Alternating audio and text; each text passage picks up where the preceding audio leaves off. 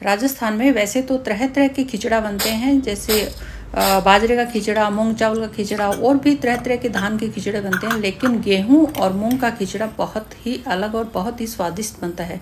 खासकर ये आखा तीज पर बनाया जाता है और बीकानेर में तो बहुत ज़्यादा बनता है।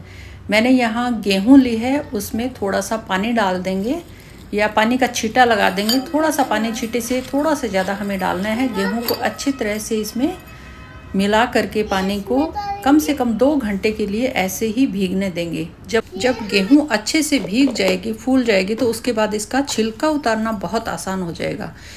आपके पास औंखली या मामदस्ता है तो आप उसमें डाल करके इसे कूट करके इसका छिलका अलग कर सकते हैं। मेरे पास यहाँ मिक्सी है तो मैं इसमें जार में डाल करके और बिल्कुल थोड़ा थोड़ा घुमा घुमा कर के इसका छिलका उतारूँगी। बहुत ही हल्के हल्के घुमा घुमा कर इसका छिलका उतारना है। इस तरह से अगर लगातार घुमाया तो गेहूँ टूट जाएगी, दलिया बन जाएगा इसका।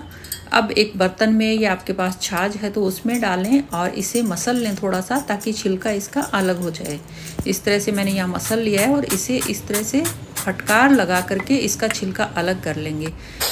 छिलका उतारने से खिचड़ा बहुत ही क्रीमी बनेगा और बहुत ही अच्छा टेस्ट आएगा। इसमें बहुत ही स्वादिष्ट बनेगा।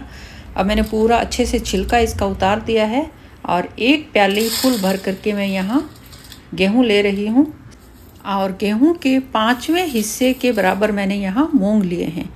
लगभग पाँच हिस्से गेहूँ के, छठा हिस्सा मूंग का और जो गेहूँ है उसके पाँच हिस्से के बराबर हम डालेंगे इसमें पानी। यानी एक कटोरी गेहूँ ली थी तो पाँच कटोरी यहाँ मैंने पानी डाला है और पानी में डाल देंगे अब मिक्स गेहूँ और मूंग। ऊपर से थोड़ा सा स्वाद के अनुसार नमक थोड़ी सी हल्दी, एक चम्मच इसमें देसी घी मिलाएँगे ताकि इसमें खिचड़े में टेस्ट अच्छा आए और खिचड़ा जो है एकदम गोटा गोटा और अच्छा बने। अब इसे लगभग हम मध्यम आँच पर इससे पाँच से छः सीटी लगाएँगे।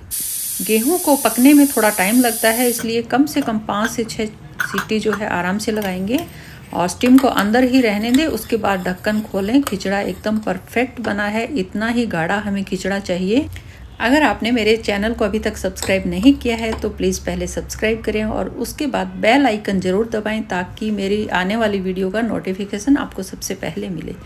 अब हम इसे गर्मा गर्म खिचड़े को सर्व करेंगे, ऊपर से डालेंगे खूब सारा देसी घी। मैं यहाँ गाय का देसी घी इसमें डाल रही हूँ। ऊपर से शक्कर डालेंगे, जो खाने में बहुत ही टेस्टी लगेगी। और खिचड़ा, घी और शक्कर, ये सारी चीज़ें हेल्दी भी रहती है।